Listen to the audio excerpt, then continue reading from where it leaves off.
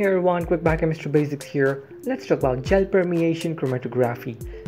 Gel permeation chromatography is a technique in which separation of molecules occur based on the size.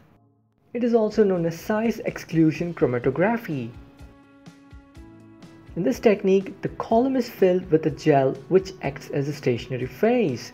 The gel is made up of porous beads. Polyacrylamide, dextran, agarose, etc. can be used as a stationary phase. The total volume occupied by the gel in the column can be given as the sum of volume occupied by the gel beads, the inner volume of the gel beads, and the free volume that exists outside the beads. In short, Vt is equal to Vg plus Vi plus Vo. Now let's see the working of gel permeation chromatography. If the sample molecules are very small, they can easily enter the pores of the beads.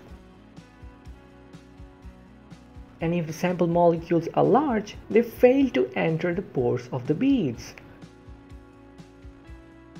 The top of the column is attached with a pump which is continuously pumping the mobile phase in the column. The bottom of the column is attached with a detector.